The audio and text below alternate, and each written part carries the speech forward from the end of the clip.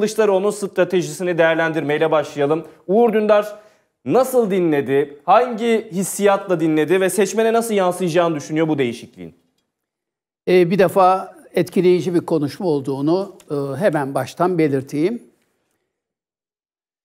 Geçen e, seçim döneminde yani Cumhurbaşkanlığı seçimi birinci tur ve milletvekili e, genel seçimlerinde Millet İttifakı'na ve Cumhuriyet Halk Partisi liderine yönelik Cumhur İttifakı önde gelenleri çok ağır iftiralarda, karalamalarda ve kara propagandalarda bulundular. Özellikle Sayın Kılıçdaroğlu'nu terörle, gerek PKK terörü gerekse FETÖ'yle iltisaklandırmaya gayret ettiler. Sayın Kılıçdaroğlu e, bir sevgi dili, kucaklama, helalleşme dili kullandığı için o turda e, bunlara yeterince karşılık veremedi. Ama şöyle bir bakmamız lazım. Bir defa Büyük Orta Doğu Projesi olarak adlandırdığımız, yaşadığımız coğrafyada Kuzey Afrika'dan başlayarak Asya işçilerine kadar 22 ülkenin haritasını değiştirmek üzere Washington'da hazırlanmış bulunan o projeye eş başkanlık Kemal Kılıçdaroğlu tarafından yapılmadı.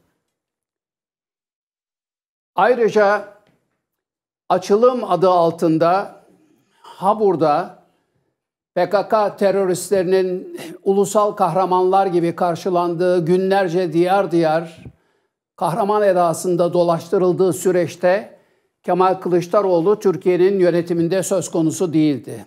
Oslo'da PKK teröristleriyle İngiliz istihbarat servisinin bulunduğu e, masada teröristler ellerinde silahları bırakmadan Türkiye'nin e, Milli İstihbarat Teşkilatı Başkanı'nı pazarlık masasına Kemal Kılıçdaroğlu oturtmadı. Ha burada PKK'lı teröristlerin kanlı e, cinayetlerini görmezlikten gelmek üzere kurulan çadır mahkemesini teröristlerin ayağına kadar Kemal Kılıçdaroğlu götürmedi. Ayrıca o süreçte aydınları, yetmez ama evetçi yazarları, sanatçıları, akil insanlar topluluğu adı altında bir araya getirerek Anadolu'da diyar diyar Kemal Kılıçdaroğlu gezdirmedi. Yine o süreçte PKK teröristlerine karşı operasyon yapmak isteyen askerin, polisin kolunu, elini Kemal Kılıçdaroğlu bağlamadı. O süreçte PKK'lı teröristlerin büyük şehirleri silah deposu haline çevirmeye ve hendekler kazmaya yönelik gayretlerini Kemal Kılıçdaroğlu görmezlikten gelmedi. Valilere, askerlere, emniyet müdürlerine bunlara operasyon yapmayın talimatını Kemal Kılıçdaroğlu vermedi. İkinci Hava Kuvvetleri Komutanlığı garnizonunda, kışlasında Türk bayrağını PKK sempatizanları indirirlerken Türkiye'yi Kemal Kılıçdaroğlu yönetmiyordu. Yine Amerikan askerleri tarafından garnizon devlet kurmak amacıyla eğitildiklerini bildiğimiz PKK, YPG, PYD e, gruplarını Biji Obama sloganları eşliğinde ve lahmacunlar ikram ederek, kebaplar ikram ederek vatan topraklarından Kemal Kılıçdaroğlu e, Suriye'ye göndermedi. Suriye hattımızda, sınırımızda 700 kilometreyi Beşar Esad'ın askerleri korurken Amerika Birleşik Devletleri'nin başlattığı harekata balıklama e, dalınırken Kemal Kılıçdaroğlu Türkiye yönetiminde söz konusu değildi. Hatta bütün bu pazarlıklar olup biterken Kemal Kılıçdaroğlu Türkiye'nin e, Türkiye Cumhuriyeti'nin yetkilileri teröristlerle gizli kapaklı pazarlık yapamaz. Bunu meclisin çatısının altından kaçırmayın. Bütün sorunları çözdüğümüz gibi Kürt meselesini de meclisin, yüce meclisin çatısı altında çözelim diyen sorumlu siyasetçiydi.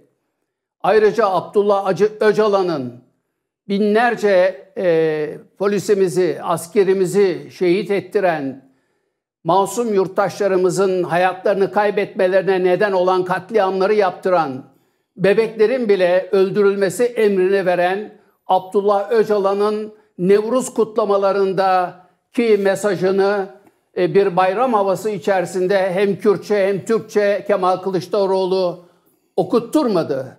Dolayısıyla bütün bunlar Adalet ve Kalkınma Partisi iktidarı döneminde gerçekleşti ve bütün bunlar olup biterken Türkiye'nin yönetiminde en büyük sorumlu Sayın Recep Tayyip Erdoğan'dı.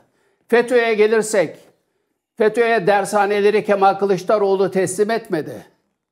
Ayrıca çeşitli sınavların soruları çalınırken bu ülkenin yetenekli, e, bu ülkenin birikimli, bu ülkenin geleceği olan çocuklarının önünü tıkayarak devletin en hassas kurumlarına FETÖ'cülerin yerleştirilmesini sağlayan sınav yolsuzluklarını Kemal Kılıçdaroğlu yönetimindeki iktidar gerçekleştirmedi. Ayrıca FETÖ'ye özlem mesajları gönderildiğinde FETÖ için ne istediler de vermedik e, denildiğinde bunları söyleyen kişi Kemal Kılıçdaroğlu değildi. Dolayısıyla bu söylemleri yani terörle iltisaklı olduğu iddialarını e, dile getirenlerin önce aynaya bakmaları ve aynada kendi kendileriyle hesaplaşmaları lazım. Böyle bir suçlama, böyle bir e, kurgu, böyle bir kumpas asla kabul edilemez. Ayrıca kumpas denilince hemen aklıma geldi. Ergenekon kumpasları dalga dalga yayılırken bu ülkenin pırıltılı yurtsever askerleri, komutanları zindanlarda çürütülürken ben bu davaların savcısıyım diyen kişi Kemal Kılıçdaroğlu değildi. Baş FETÖ'cü Zekeriya Öz'e makam arasının aracını, zırhlı makam aracını armağan eden Kemal Kılıçdaroğlu değildi. Bunların hepsinin hesabını vermesi gerekenler kalkıyorlar şimdi Sayın Kılıçdaroğlu'nu gerek PKK terörünün gerekse FETÖ'nün hamisiymiş gibi Türk kamuoyu önünde kara propagandalarla aşağılamaya çalışıyorlar. Yok kardeşim böyle şey. Bakın. Bakın.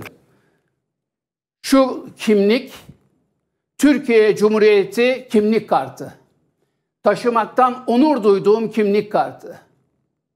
Bu kartı düzmece gayrimenkul ekspertizleriyle 40 bin dolara, 50 bin dolara, kara paracılara, ne yüdüğü belirsiz sığınmacılara, nereden geldiği belli olmayan uyuşturucu baronu olması kuşkusu da bulunan kişilere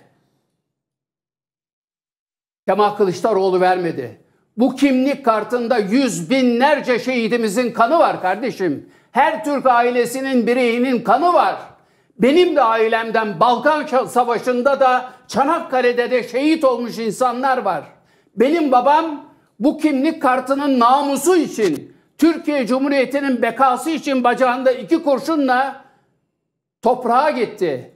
Dolayısıyla bu kutsal toprakları 40 bin dolara, 50 bin dolara ne yüdüğü belirsiz kişilere pazarlayan Kemal Kılıçdaroğlu değildi. Bu kimlik kartlarını sadece bir kağıt gibi dağıtan Kemal Kılıçdaroğlu değildi. Bunların hesaplarını vermesi gerekenler bugün kalkmışlar hesap soruyorlar bizi enayi yerine, bizi balık hafızalı yerine, bizi aptal yerine koymaya hiç kimsenin hakkı yok. Zekamızla alay etmesine hiç kimseye izin vermeyeceğiz.